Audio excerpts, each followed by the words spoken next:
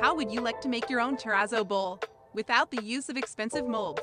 Just use your stainless steel bowls you have in your kitchen. Enjoy this video. Use a suitable release agent. Make sure you coat both surfaces properly, as A1 sticks to almost anything. First, weigh your A1 mineral powder.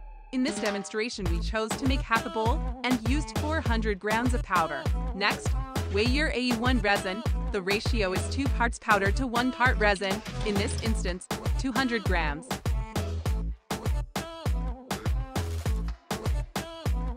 Use the A1 shearing blade to get a quick consistent mix.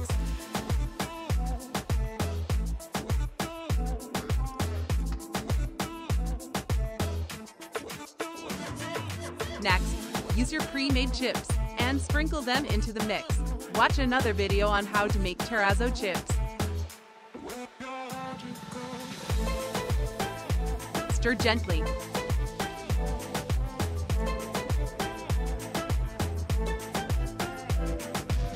And then pour the mix into the bowl. Gently push the smaller bowl into the mixture and move around to release any trapped air bubbles. Hold down with some tape or weigh it down in place. Wait for at least 30 to 40 minutes and then gently remove the small bowl. Look at that. So far it looks amazing. Bear in mind that the casting will still be fragile until final cure, which takes at least 24 hours. Now the sanding process begins and the rewards enhanced. Sanding with care soon after demolding is easy and will give you a very smooth surface. If there are any air bubbles, don't stress, as these can be easily repaired and resanded with ease. Once you have the desired finish, allow to cure and dry before sealing.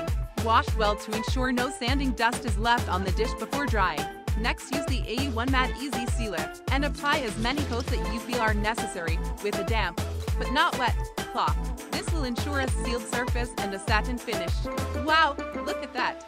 Why not try it yourself? Visit the site www.activecomposites.com.au and place your order now.